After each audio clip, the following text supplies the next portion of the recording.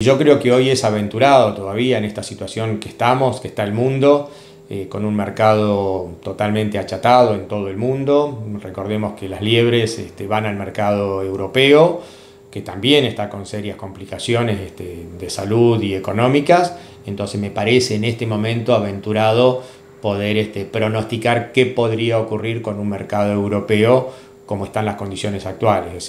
ojalá se pudiese siempre están en relación con PTI. Sí, sí, absolutamente. ¿Y él, se sigue dedicando a la misma actividad en el lugar donde reside? No, él en este momento no tiene esa actividad porque tampoco se está pudiendo desarrollar en aquella zona, más allá de que eh, la zafra de liebres es puntualmente en una determinada época del año, tanto en Chubut como en el resto de cualquier otra provincia del país. Hoy por hoy el frigorífico operativo más próximo donde está ubicado? ¿Aquí en el de Trevelin o ya tampoco está? Eh, lo que pasa es que Trevelin tiene una actividad distinta, sí, Trevelin está, está operando, entiendo que está operando muy bien, eh, y es obviamente el más próximo, pero con un mercado absolutamente distinto, digamos, ellos tienen otra comercialización distinta que entiendo que por suerte les está funcionando.